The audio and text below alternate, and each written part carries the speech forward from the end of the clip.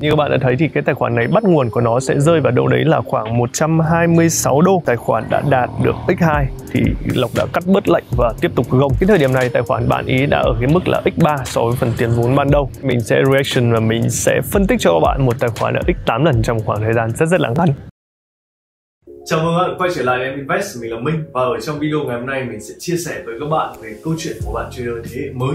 Bạn đã không còn đặt stop loss theo từng lệnh giao dịch nữa mà bạn đã sử dụng chính cả tài khoản bạn làm một cái stop loss lớn. Và các bạn lưu ý, đây không phải là một cái đánh rủi ro như các bạn nghĩ mà đây thực sự nó lại là một cái đánh rất rất là an toàn. Lý do tại sao? Bởi vì ở trong phần trước mình đã chia sẻ với các bạn về hành trình x3 tài khoản từ số vốn gốc của Lộc. Và nếu chia sẻ các bạn hãy xem lại theo cái đường link mình để dưới phần mô tả video này hoặc scan cái mã QR code ở trên màn hình để xem lại cái video đó còn ở trong video ngày hôm nay mình sẽ chia sẻ tiếp tục với các bạn cái hành trình còn lại, tích 5 tài khoản của bạn đến từ cái số vốn gốc sau khi bạn rút tiền từ lần một. Và mình tin chắc sẽ có rất nhiều điểm chúng có thể hỏi từ bạn đi về phong cách giao dịch, về tư duy, về cái việc bạn ấy kiểm soát lòng tham như thế nào. Có nhiều nhiều lắm những câu chuyện mà chúng ta có thể chia sẻ với nhau. Và không để các bạn đợi lâu hơn nữa, mình sẽ bắt đầu video của chúng ta ngay sau đây và trước khi chúng ta tiếp tục cái nội dung của video chúng ta ngày hôm nay, nếu các bạn là những trader mới ở trên thị trường các bạn đang cần tìm một nơi để các bạn cập nhật thêm những tin tức, những cái tín hiệu về thị trường vàng, thị trường Bitcoin và những cái cặp chỉ số ví dụ US 30 các bạn để tham gia ở trong nhóm em Invest Private cùng với mình. Đây là một nhóm hoàn toàn miễn phí và để tham gia thì các bạn thể vào trong cái phần mô tả dưới bất cứ cái video nào của mình. Bạn bấm vào cái phần form đăng ký nhóm hỗ trợ trader mới miễn phí hoặc có thể nhắn tin cho mình qua số Zalo vào 0969 156969 Bên cạnh đó, nếu bạn quan tâm về những khóa học của mình về phân tích trade vàng cũng như các loại tiền tệ thì có thể bấm vào cái đường link là eminvest.vn gạch chéo online. Và những cái thông tin khác về những người bạn của mình ví dụ như app tổng hợp tín hiệu về vàng dầu US 30 thì bạn có thể tham khảo và tìm thấy được ở dưới cái phần mô tả. Và để tiếp tục thì chúng ta sẽ đi đến những cái nội dung chính của video cho ngày hôm nay. Lệnh đầu tiên của Lộc là cái lệnh buy vàng mức giá là 1714 và tại sao Lộc lại có thể đặt một cái lệnh mua như vậy thì chúng ta sẽ cùng tìm hiểu với nhau.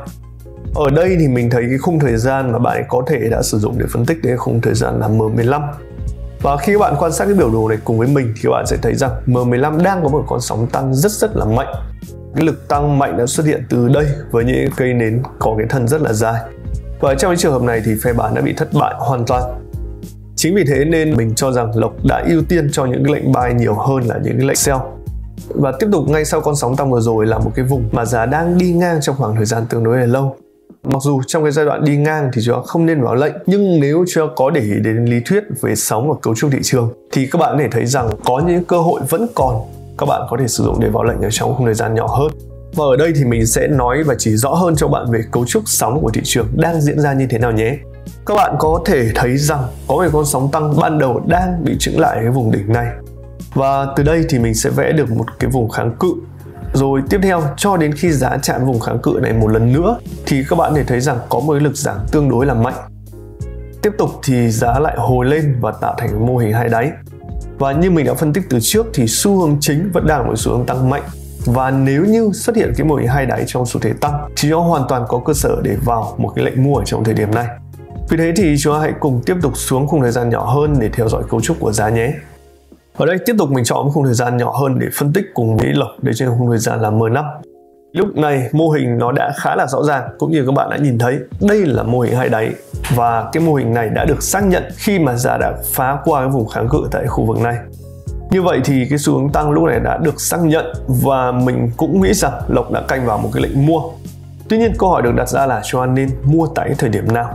Ở đây chúng ta thể nhìn sâu hơn và chúng ta nhìn rõ hơn thì giá đã phá qua vùng kháng cự. Thì sau đó, nó thường sẽ phải quay về để kiểm tra cũng như là test lại cái vùng kháng cự này trước khi nó tăng tiếp. Và các bạn thể thấy rằng sau khi giá phá vỡ thì đã có một cú hồi về đúng như những cái lý thuyết mà chúng ta vừa nói. Và ngay sau đó thì giá đã bật lên vì lực mua ở đây tương đối là mạnh. Chính vì thế nên Lộc đã vào một cái lệnh mua ngay tại đây, mình đánh giá là rất là hợp lý. Và các bạn hãy theo dõi tiếp cùng với mình cái kết quả của lệnh này nhé. Giá đã bật lên này và Lộc đã chốt cả hai lệnh của mình. Lúc này tài khoản của Lộc đã lên đến khoảng là 370 đô. Tiếp tục đến với cái lệnh tiếp theo thì ở đây các bạn thể thấy rằng là Lộc đã nhồi khá là nhiều cái lệnh sell vàng, mốc giá là 1711 và 170. Tại sao Lộc lại có thể tự tin khi mà nhồi rất rất nhiều lệnh ở trong thời điểm này? Liệu rằng đây có phải quyết định nó hơi là mạo hiểm hay một quyết định nó sai lầm của Lộc hay không? Chưa cần phải quay trở lại với biểu đồ của vàng ở trên khung thời gian M15 trong giai đoạn này các bạn có thể thấy rằng cái vùng kháng cự vừa rồi đã không thể phá qua được giá đi lên rất rất là cao, nhưng cái lực bán đã xuất hiện mạnh, tạo thành một cây nến lâu dài và hai cây nến đỏ ở trong khu vực này Điều ấy thể hiện rằng cái lực bán đã xuất hiện vô cùng mạnh mẽ và lúc này chúng ta sẽ không canh vào mỗi lệnh mua nữa, mà mình nghĩ là chúng ta nên ưu tiên một cái lệnh bán trong giai đoạn này.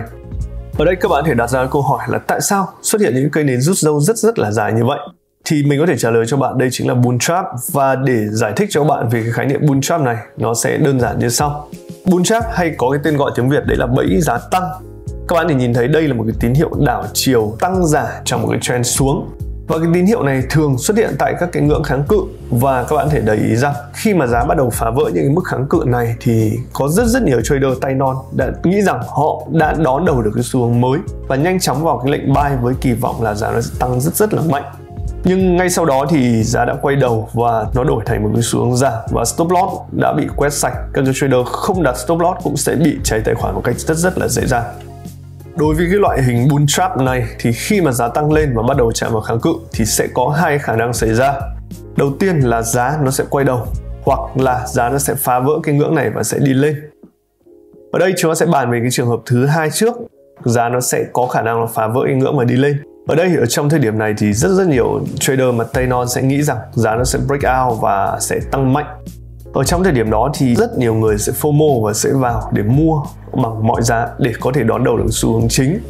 Những cái người còn lại thì kỳ vọng giá sẽ có nhịp nó hồi lại trước khi tăng, nên sẽ đặt những cái lệnh mua, những cái lệnh limit.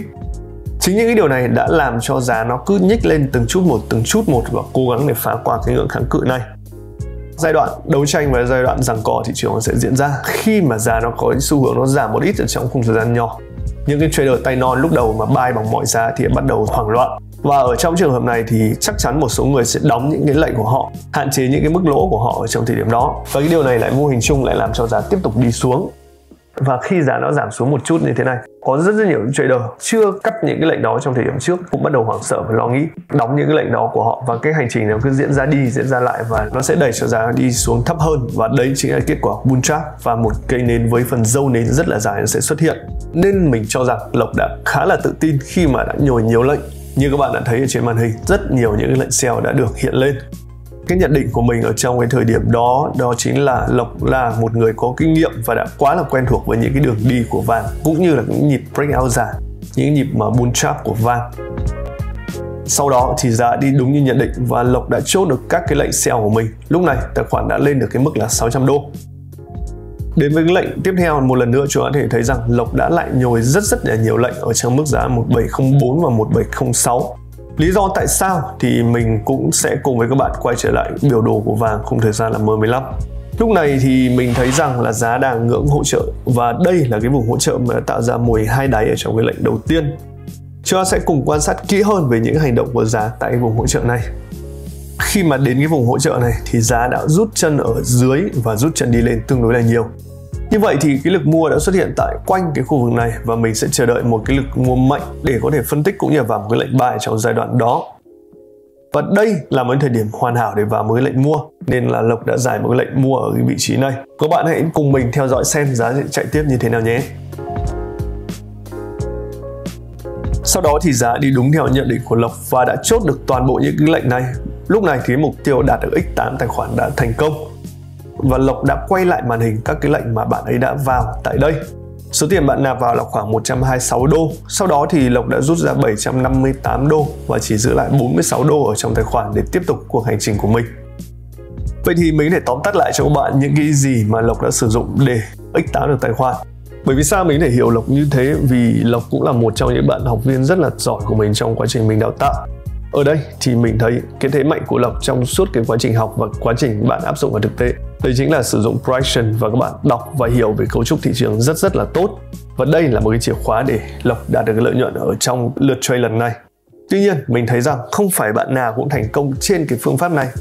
Cái điều để thành công duy nhất mình nghĩ, thứ nhất là phải có kiến thức. Và từ việc có kiến thức, các bạn mới có thể tự tin và từ việc các bạn tự tin thì các bạn mới có thể kiếm được lợi nhuận. Và nếu như các bạn muốn kiếm được lợi nhuận trên thị trường, mình vẫn luôn đề cao hơn bao giờ hết. Đây là có kiến thức, có kinh nghiệm và có phán đoán của riêng mình.